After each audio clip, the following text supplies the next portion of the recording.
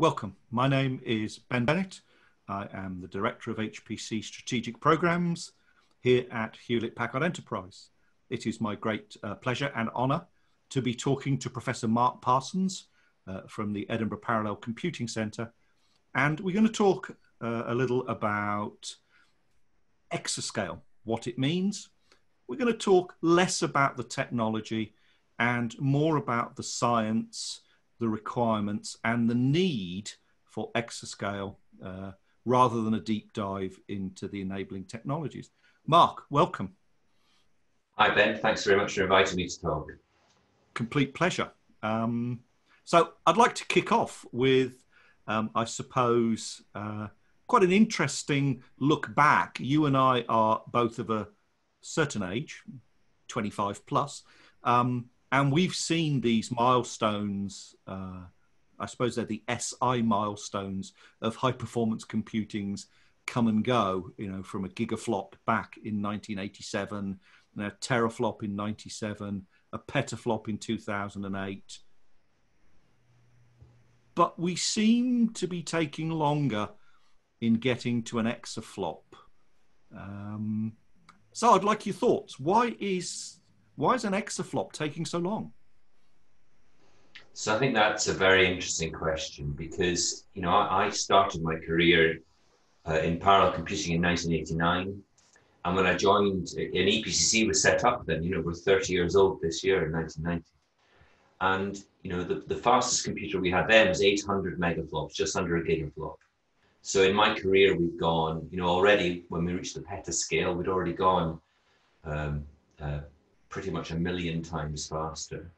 Mm-hmm. And you know, the, the step from a teraflop to a petaflop scale system really didn't feel particularly difficult. Um, and yet the step from an from a petaflop, petascale system to an exaflop is a really, really big challenge. And I think it's really actually related to what's happened with computer processors over the last decade, where individually you know, a processor core like you have in your laptop or whatever hasn't got much faster. We've just got more of them. So the perception of more speed, but actually it's just been delivered by more cores. And as you go down that approach, you know, that happens in the supercomputing world as well. Um, we've gone uh, in 2010, I think we had systems that were, you know, a few thousand cores. Um, our main national service in the UK for the last eight years has had 118,000 cores. But looking at the exascale, we're looking at, you know, four or five million cores.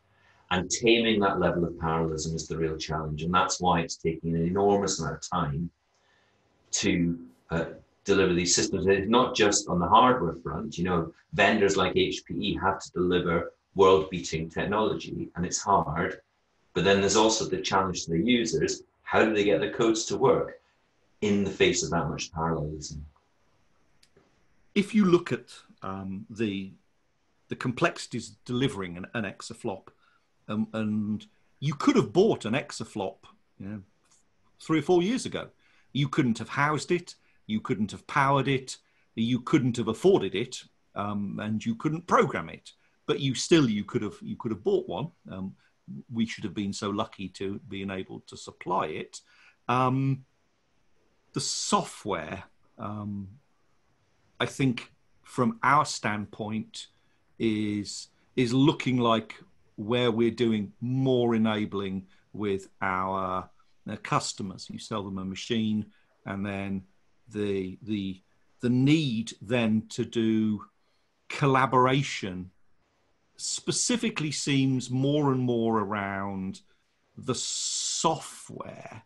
Um, so it's it's going to be relatively easy to get one exaflop using Linpack, but but that's not exascale. So what do you think an exascale machine versus an exaflop machine means to the people like yourself, to your users, the scientists, and industry? What is an exaflop versus an exascale? So I think you know, supercomputing moves forward by setting itself challenges. And when you when you look at all of the exascale programs worldwide that are trying to deliver systems that can do an exaflop or more, it's actually a very arbitrary challenge. You know, we set ourselves a petascale challenge of delivering a petaflop, and somebody managed that. And and but you know, the world moves forward by setting itself challenges. Um, I think you know we use quite an arbitrary definition of what we mean as well by an exaflop. So, you know, in, in your and my world, um, we either, you know, we, we, we, we first of all say well, a flop is a computation, it's a multiply or it's an add or whatever. And we tend to uh, uh, uh, look at, at, at, that as using high, very high precision numbers, so 64 bit numbers. And you know, we then say, well, you've got to do for an exaflop, you've got to do a billion billion of those calculations every second. You know, so that's some of that's an arbitrary target. Now, you know, today from HPE, I can buy a system that will do a billion billion calculations per second, and they will either do that as a theoretical peak, which would be almost unattainable, or using benchmarks that um, stress the system and, and demonstrate a real exaflop. But again, those benchmarks themselves are tuned to do, to just um, do those calculations and deliver an exaflop in a quite a, a, a, a, sterile way, if you like. So, you know, we, we, we, we, we've kind of set ourselves this, this, this big challenge, you know, the big fence on the race course, which we're clambering over. But the challenge in itself actually should be and much more interestingly, what are we going to use these devices for having built them? Um, so getting into the exascale era is not so much about doing an exaflop, it's a new generation of capability that allows us to do better scientific and industrial research. And that's the interesting bit in this whole story. Uh, I, I, I, would tend to agree with you. I think uh, the um, the focus around exascale is to look at, you know, new technologies, new ways of doing things, new ways of looking at data, and to get new results. So eventually, you you will get yourself a, an, an exascale machine. Um, one hopes sooner rather than later. Um, well, I'm sure you'd love to sell me one, Ben. It's got nothing to do with me. I can't sell you anything, Mark. Um, but there are people outside the door over there who would love to sell you one. Yes. Um, however, if we if you look at your you know your your exascale machine um, how do you believe the workloads are going to be different on an exascale machine versus your current petascale machine? So i think um, there's always a slight conceit when you buy a new national supercomputer and, and that conceit is that you're buying a capability that you know and, and and that many people will run on the whole system. Now in truth we do have people that run on the whole of our archer system today. So that's 118000 cores. But i would say you know looking at the system people that run over say half of that can be counted on your on a single hand in a year. And they're doing very specific things. It's very costly simulation they're running.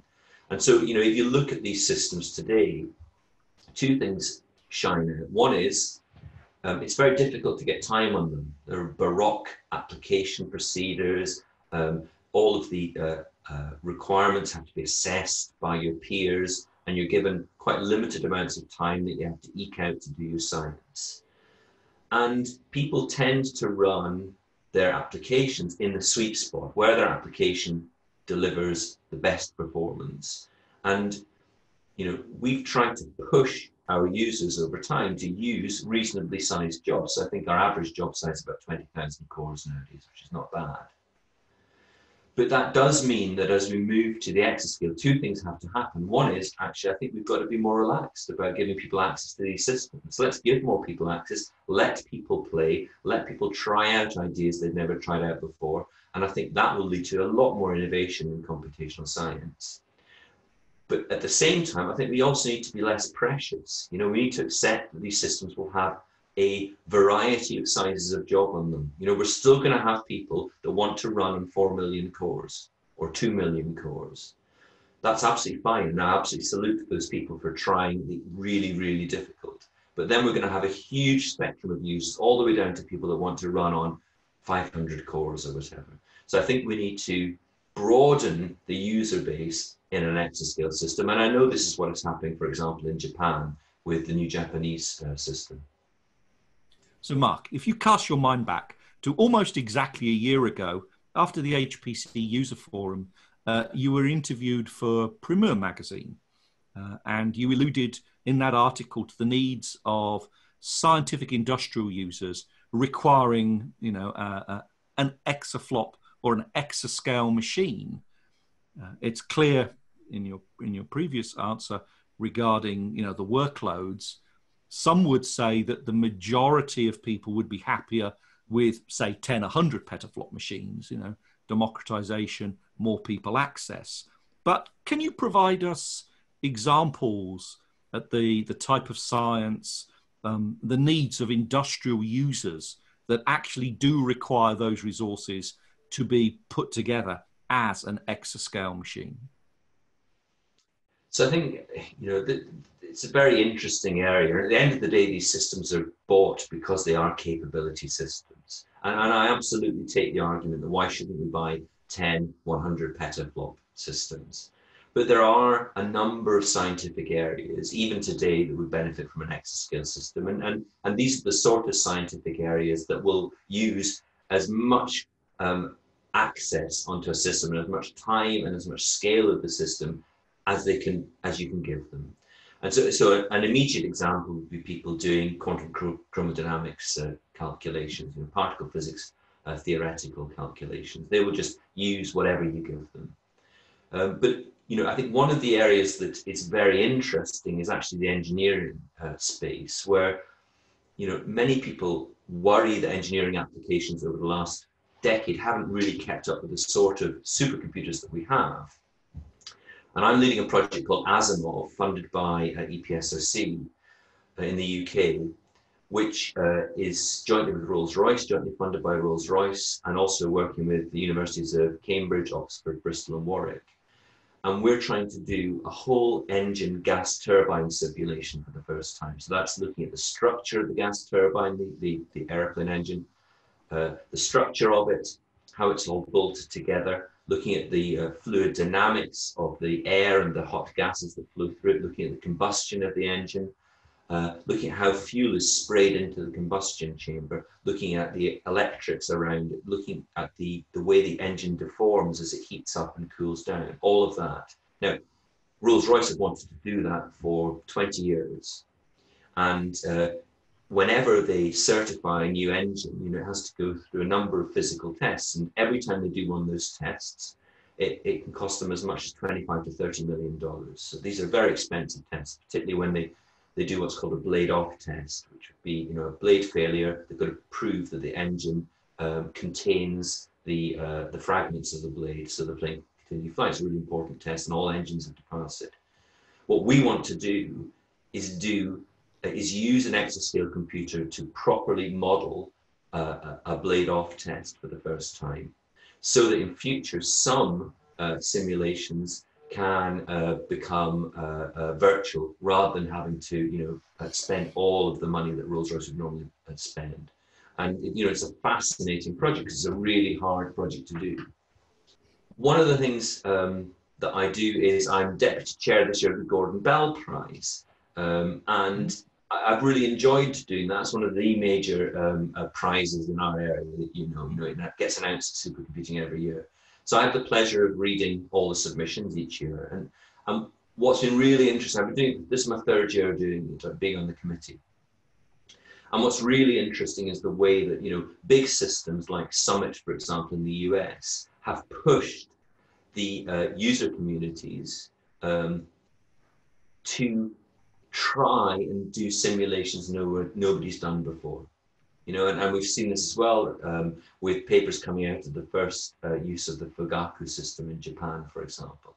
And people, you know, these are very, very broad. These are, you know, earthquake simulation, um, uh, large eddy simulations of boats, um, you know, um, a number of things around uh, genome wide association studies, for example. So the use of these computers spans a vast area of uh, uh, computational science. And I think um, the really, really important thing about these systems is they're challenging people to do calculations they've never done before. That's what's important.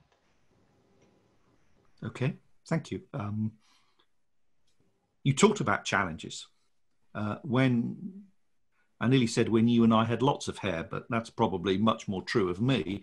Um, we used to talk about grand challenges. We talked about, especially around the teraflop era, the, the, the ASCI Red program driving, you know, the grand challenges of science, uh, possibly to hide the fact that it was a, a bomb designing computer.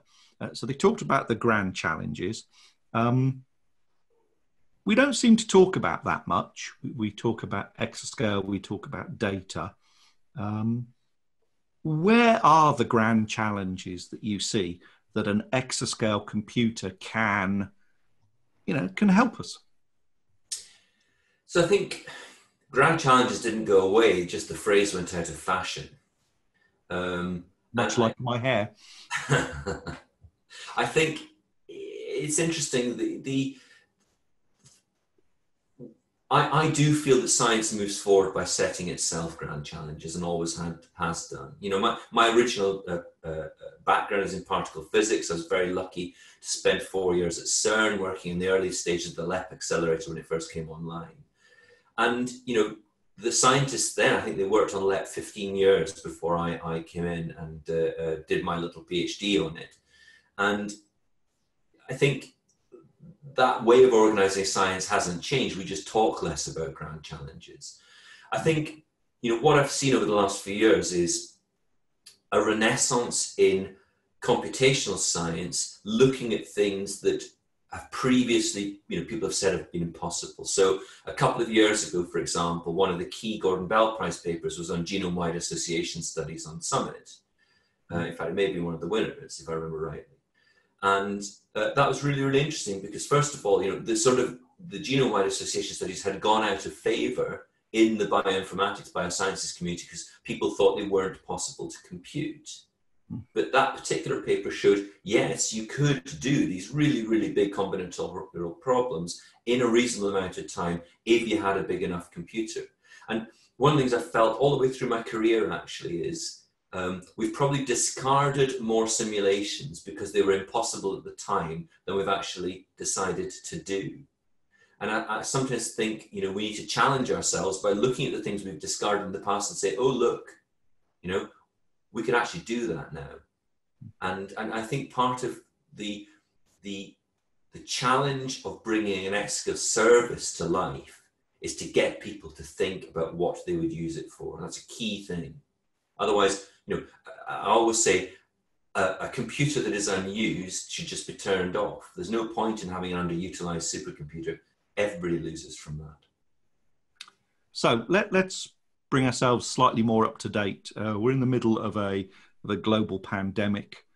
Uh, and one of the things in our industry has been that, that I've been particularly proud about is I've seen uh, the vendors, all the vendors, you know, offering up machines and uh, making resources available for people to fight uh, this this current disease.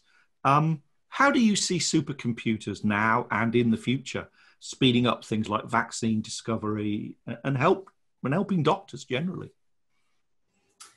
So I think you're quite right that um, you know, the supercomputing community around the world actually did a really good job of responding to COVID 19, in as much as, um, you know, speaking for the UK, we put in place a, a, rapid access program. So anybody wanted to do COVID research on the various national services we have, down to the tier two services, could get really quick access. Um, and that that has worked really well. Now in the UK, you know, we, we didn't have. I mean, Archer is an old system now, as you as you know. We didn't have the world's largest supercomputer, but it has happily been running um, lots of uh, COVID nineteen simulations, largely for the, the the biomedical community, looking at drug uh, uh, modeling and, and molecular modeling largely, and that's just been going. In the US, uh, they've been doing really large. Um, uh, combinatorial parameter search problems on, uh, uh, on, on Summit.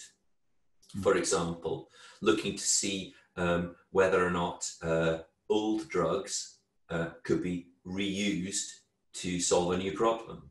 Um, and so I think, I think actually in some respects, COVID-19's been, um, uh, this sounds wrong, but it's actually been good for supercomputing in as much as it's pointed out to governments that supercomputers are important parts of any uh, scientifically active country's uh, research infrastructure.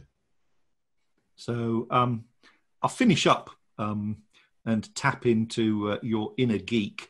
Um, there's a lot of technologies that are being bandied around um, to currently enable, you know, the, the first exascale machine, wherever that's going to be uh, from whomever.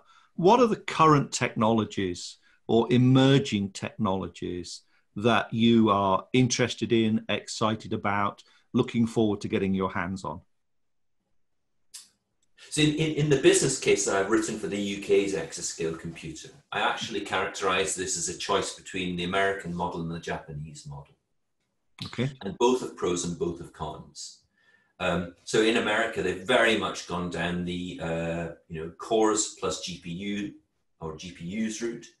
Um, so you might have you know an Intel Xeon or an AMD processor at the center or an ARM processor for that matter, and you might have you know two to four GPUs. I think the most interesting thing that I've seen is is definitely this move to a single address space. So the data that you have will be uh, accessible by the GPUs and the CPU. I think you know that that's really been one of the key things that has stopped the uptake of GPUs today, and that that that one single change is going to, uh, I think, uh, uh make things very very interesting. But I'm not entirely convinced by the CPU GPU model because I think that um, uh, it's very difficult to get all the all the performance out of a GPU. You know, it'll do well in HPL, for example, high performance Linpack benchmark we are discussing at the beginning of this interview. Mm. But in real scientific workloads, you know, you, you, you still find it difficult to find all the performance that, that, that is promised. Mm. So, you know, the Japanese approach, which is the cores only approach, um, I think is very attractive in as much as, you know, they, they're using very high bandwidth memory um, very interesting processor, which they are going to have to, you know, which they've, they've co-developed together over a 10 year period. And this is one of the things that people don't realize. The, the Japanese program and the American exascale program has been working for 10 years on these systems. Now, I think the Japanese process is really interesting because um, it, when you look at the performance, it really does work for their scientific workload. And that's, that does interest me a lot. This, this combination of a, a processor designed to do good science, high bandwidth memory, and a real understanding of how data flows around a supercomputer. Um, I think those are the things that are exciting me at the moment. Obviously, you know, there's new networking technologies. I think in the fullness of time, not necessarily for the first systems, but, you know, over the next decade, we're going to see much, you know, much more activity around silicon photonics. I think that's really, really fascinating. All of these things, I think in some respects, the last decade has just been quite um, incremental in improvements. But I think where supercomputing is going at the moment, we're at a very, very disruptive moment. And that, you know, again, that goes back to the start of this discussion. Why is exascale been difficult to get to? Actually, because it's a disruptive moment in technology. Professor Parsons, thank you very much for your time and your insights. Thank, thank you. you very much, Pleasure. And folks, thank you for watching.